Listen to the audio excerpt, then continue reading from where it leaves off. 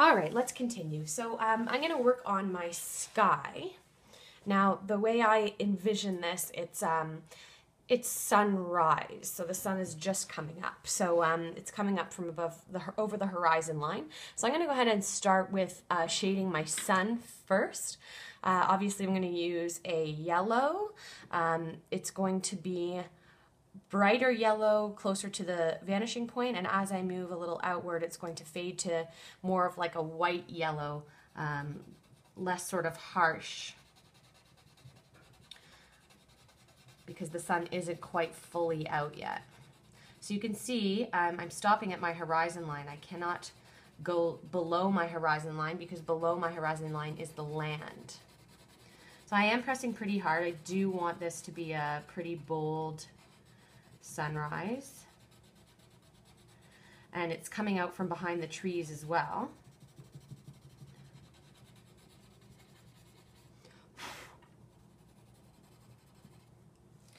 So um, where I can see it behind the trees, we're going to have it sort of peek out from behind the bushes, or the uh, trunk and the leaves.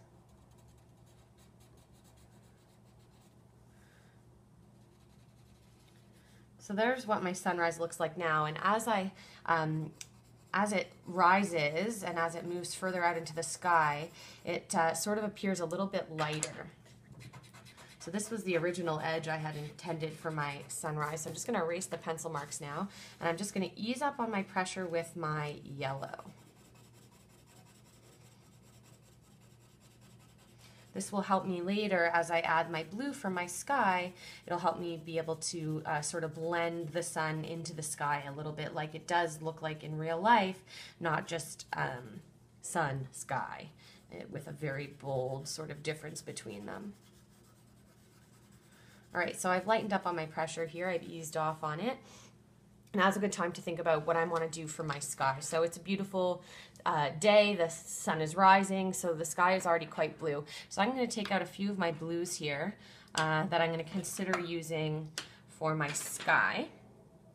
Now, of course, just like with the trees and the grass and the road and everything else, um, the color of the sky will get lighter as I get closer to the vanishing point uh, because it's further away, whereas the sky over here by the trees and above these buildings is going to be significantly darker um, because it's closer to me. So before I begin, I'm just going to test out my blues here so I know which ones are darker and which ones are lighter, which is a good idea to do on some goose paper or in your sketchbook if you'd like. All right, so I'm going to start with my darker blue um, around the outside of my um, cityscape here. Uh, and you can see I am going to continue shading in one direction, at least that's my plan, and hopefully I'll remember to do that uh, as I go along. Sky stops at the horizon line because the horizon line is where the land and the sky meet.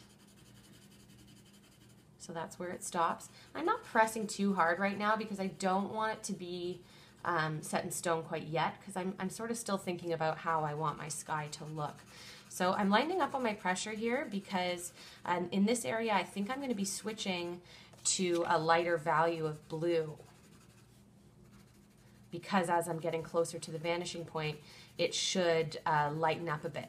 So I'm going to switch now to uh, my second value here.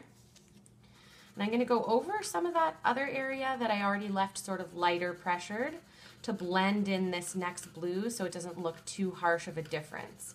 And you can see um, I'm shading in the same direction, but I'm kind of going in a circular motion, just like the sun. I'm going around the sun in a circular motion. You do want to consider ahead of time if there are clouds in your sky. Um, I did plan to have clouds in my sky, but I, I, I, didn't plan ahead, so I haven't left the areas blank. Um, I may still try to add some clouds. Um, actually, I think I'll just add birds later. But uh, clouds is definitely an option, and of course, as they get closer to the vanishing point, they become smaller, significantly smaller.